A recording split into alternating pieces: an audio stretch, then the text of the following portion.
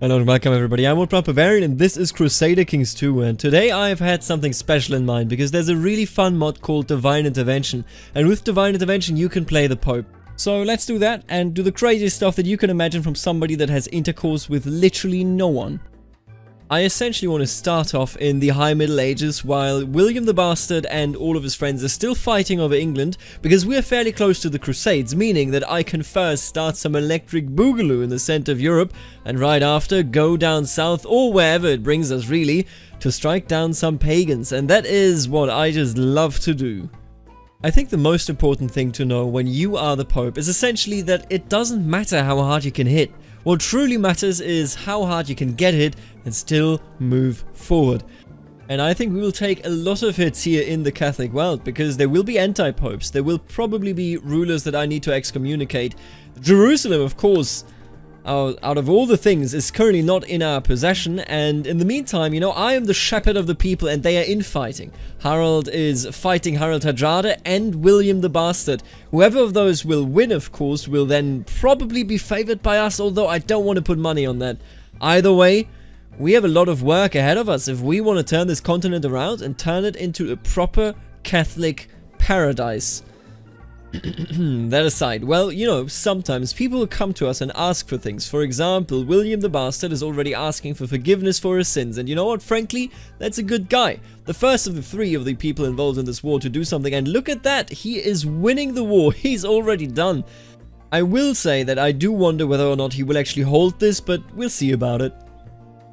Oh boy, would you look at this? It's like the game knows that I am now in control of the Pope. The Pope is no longer kind, and I mean, we are a very spectacular Pope. So many virtues, no vices whatsoever, but now that I'm not kind, you know what, Doge of Venice? I know it hasn't happened yet, and I know it isn't you, but I'm gonna teach you a lesson for what you will do, or what Venice will do, to the Byzantine Empire.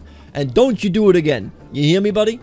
The fun part about this mod is that I essentially can go around and people will ask me for, hey, you know, can you crown me? Can you do this or do that for me? And I'm gonna ask this one to give me papal investiture if he were to do it. Oh, so first he has free investiture, now he has a pagan at his court. He better accept this free investiture and this papal investiture. I'm telling you straight up, otherwise I'm gonna be really, really bad. You, god damn it, I am going to excommunicate you, buddy, and there's no second chance. Oh, okay, when I have the piety, I'm coming for you. I told you. I told you I'd do it, buddy. And you didn't listen.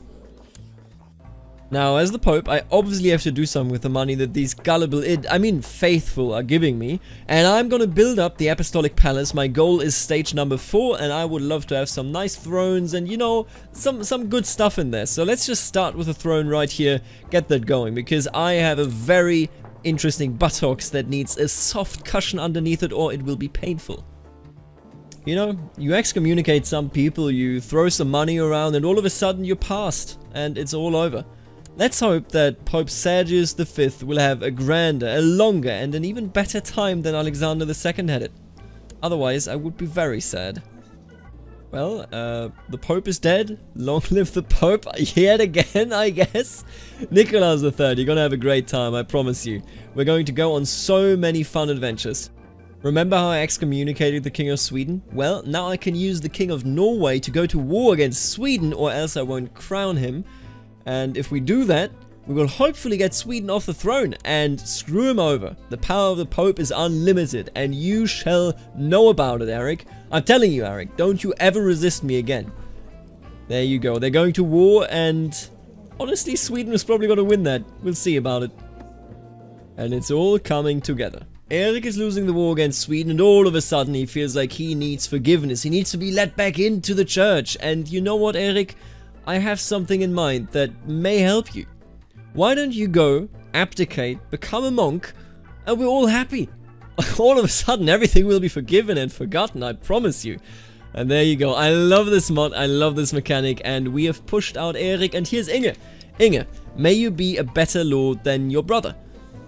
I mean, it's tough to be worse than Eric the Hermit, isn't it? Wait a minute. What just happened? Anti-Pope? And his name is Sylvester the Fourth? Sylvester Stallone himself has come to punish me for my sins, but I will not let him win, let me tell you. Alright, we got an anti-pope now, pushing down on our moral authority, of course, and I want to counter that Because King Heinrich IV, as he was historically an enemy of the church, uh, or the Pope rather, will not be let out with just a light sentence like, you know, oh, let's do a walk to Canossa. Absolutely not. This man will be punished for everything that he has done. Oh, and I also just noticed France also excommunicated. I thought I could have them fight each other, but I don't think that's gonna work out the way I was imagining it to. God is on my side. Pope Sylvester has already, just two seconds later, passed away. And now, weak Pope Stephanus will fall. This is perfect. Hey Inge, you want to be crowned by me? Just get rid of the anti-pope. What's the big deal, right? You can fight the HRE alone, I trust. He can't, just spoilers. But, you know. Oh boy, okay, so he calls me in. I, I was not aware of this. Can we defeat Kaiser Heinrich IV? Uh, he does have a shitload of troops, but his wealth, oh, he is named of the empty pockets. That's a really good name. Let's do it. Alright, so far so good. With the money of those people that want to get absolution and whatnot, I have been able to muster force attacking Italy. But in the north, I mean, honestly, 3,000 troops probably not going to win this war. I feel like we're probably going to lose it. Oh, no, no, no, no, no. Get out of here. Get him out of here. Scotland, it's really unfortunate for you, but you gotta help me against the HRE. And I'm sure you don't... I mean, you have 1.7k troops, but you're gonna do this, buddy. Please help me. You know, I gotta give a shout out to the wonderful, gullible, it, the faithful of the continent of Europe. They've given me so much money, otherwise I would have been bankrupt 10 times over. Look at this, minus 50, but they keep asking for absolution and hey, how could I refuse them? If they want to help me out, and I'm, I can help them out as well. And surprisingly, it's all over. The Swedish won and the Kaiser has given up his resistance against my wonderful word of the church. And honestly, I'm gonna give the Kaiser what he deserves. And you know what it is. I mean, I love excommunication. He deserves it. Let's go. It's also pretty neat that this dude can ask me to excommunicate William the Conqueror. So let's have a look at him. You know, he's a bastard, but that's okay. He is an impaler, and he also expelled the Jews. You know what? Easy decision making here. Let's get rid of King William the Conqueror. No place at all in the Catholic Church. I also excommunicated France and the HRE. Poland is still in the realm, you know. Uh, Hungary's in the running, maybe excommunicated tomorrow, who knows. Uh, Sweden, of course, doing pretty good. Son of Lucifer, though, you know what? You're out too. Strike number three. There you go. Get him out of here.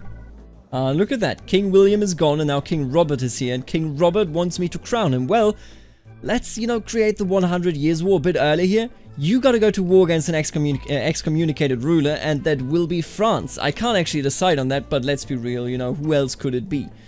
So let's make this happen. The party has started. Just the way I love it. This Earl Harold wanted us to excommunicate William as well, and now he wants me to excommunicate Robert, despite Robert fighting a war against the excommunicated King of France. You know what? None of this makes sense, so my decision is yes, of course! You shall be excommunicated. Got him. does this make any sense? I don't think it does. But I'm the Pope. Life can be so cruel. The excommunicated Robert has ousted the excommunicated King Philippe, and neither are now welcome in the church. Or I guess Philippe is now welcome in the church. Isn't that a bit rough, Robert? Now you're the only one that is excommunicated. I've been so busy excommunicating rulers like the Holy Roman Emperor that I didn't notice the encroaching pagans. The Pechenegs are here. You know what? Maybe I gotta do something against those instead of excommunicating good Christians. But it's fun. Oh boy. So the Jihad era started before the Crusades, and Caliph Hakam, 16 years of age, is already going in hard. Anatolia should become Shia if they win, but honestly, it's going to be rough for them, because the Byzantines are united, for once. Let's see for how long going forward. And finally, finally it has happened for us two Crusader Kings. I can now call Crusades, and when I call Crusades, you know, I'm probably not going to do it, oh, Jerusalem, Jerusalem. Who needs Jerusalem? Jesus, you know, he's in every church, isn't he? Pope Nicolaus III has bigger plans, so the council, you know, I can consult them, and let's take a look at all of them. I think all of them look very good, first of all, but I think all of them are telling me why don't you go for the Pechenegs? We've talked about that beforehand, you know, going for Jerusalem, who cares? But look at Kagan, whatever his name is. If we do a crusade for Ruthenia here, uh, we would get all of this, which is currently Orthodox, but suppressed by him, into Catholic hands. I would be a huge fan of this, so let's go ahead. Boom. I love that this works, by the way. This is just amazing to me that this interface works perfectly fine while I'm the Pope. Oh, wow, and, off Wessex has a claim on it. Interesting. And let's take a look at the history of Europe. First, there was William the Conqueror, excommunicated. Then there was King Robert I of England, excommunicated. And now there is King Robert II, also excommunicated. They aren't really that lucky, are they? And it has begun. Faithful Christians, follow me into the steps of Russia. Let's free the Orthodox by making them Catholic and let's destroy the pagan hordes that are defending them.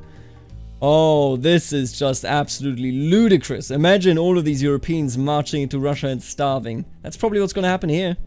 And while the crusade is ongoing, you can see all of my troops there. I believe that my meddling in the HRE is showing some results. All of a sudden there are two kings, the king of Thuringia and the king of Lotharingia. I'm a huge fan, you know, take away more power from the emperor. All of you, be my absolute guests. Kaiser Heinrich IV, you didn't know who you were messing with. I fought three long years for this, and this is what I get. The crusade for Ruthenia ends with the conversion of the Pechenegs. Absolutely outrageous. How are they allowed to do this? God damn it. Anyway, you know, they converted, and that is a pretty good start. They, he's known as Kagan Kegan the Bold. A strange name, if you ask me, and he's still nomadic. But he has plenty of vassals that are not nomadic, and if we can get those to convert, then we actually will have a long-term impact here. But let me tell you, I spent so much money from absolutions. I spent so many lives on this war. And not to mention, by the way, that the Byzantines got out of the Shia war here by simply literally overthrowing their emperor. By doing that, the war ended. Man, Europe is a mess. The Byzantines are wild and the Pechenegs have very weirdly converted. What a life it is. What a life it is indeed. And he, by the way, that is funny, he's a crusader, but he fought on the Pecheneg side because he's a tributary, and but since he's Christian, it still counted. I don't know what to say. Sleep tight, Nicolaus III, and long live Pope Gregorius the Seventh. Sleep tight, Pope Gregorius the Seventh, and long live Pope Sylvester the Fourth. Let's go. That's the spirit. He's blessed.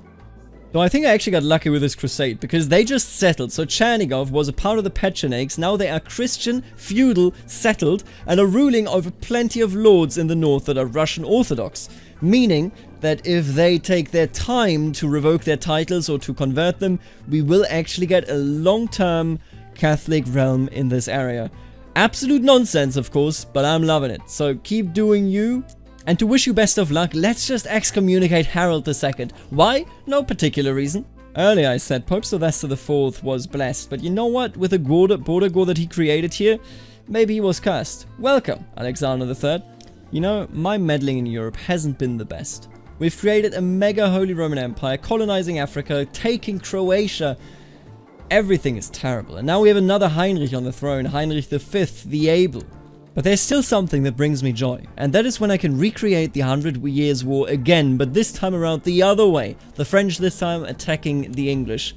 Absolutely beautiful. And as I am a very dirty Pope Alexander, let's take a look at this. Yep, they have converted some of the Russians. Dude, that is lovely. We will actually have Russian Catholics. I love it. Honestly, the weirdest shit happens in this game. Kaiser Heinrich V invited me, the Pope, to his coronation, but he didn't want me to crown him. He just used some random Prince Bishop Louis. It's weird. I also discovered that there is uh, Prince Arpad Sylvester attacking, Sylvester you may notice, attacking the Holy Roman Empire for his claim on the Holy Roman Empire. And you know what? I really want to support that to weaken the Holy Roman Empire. So what can I do? Of course, I mean, you know me. I mean, you know, you know what I do in this game at this point. So I'm not certain that Arpad will win this. I can't directly help him. I can send him some money, but that is extremely tedious. Why don't we go one step further? See, I'm reigning over plenty of Italian lands, but there is a war goal here. If I go with a papal war for any of these duchies, I could go ahead, claim them from him, and maybe help Arpad on the throne. This is what I had all these training montages for. We're doing this, boys. Well, I did do it, but Alexander III is now dead and Pope Callistinus, what happened to my face? Where's my beautiful Sylvester Stallone face? I'm now French. Despicable. And I'm also, oh god, I didn't even notice the army up there. Uh, I'm also fighting the HRE and maybe we can win it? This is the battle that will decide everything. My reinforcements are coming, and if I lose this, then Arpad will have no chance of doing anything But I need to defeat this monster HRE that has claimed so many other territories. And the French Pope shall lead it by himself. So let's get this done. Or rather, let's try to get this done. If we can't, I mean, so be it. Oh, but it's looking good. Our tactics are working. Whoa! And it's what? Oh, we did it. Let's go. Easy. Easy. Easy. And we have done it. Spoleto is now under our control, Adalberto Sylvester is now part of our realm, and Shelby, of course, a council member, much like all the other Sylvester Stallones running around in my realm.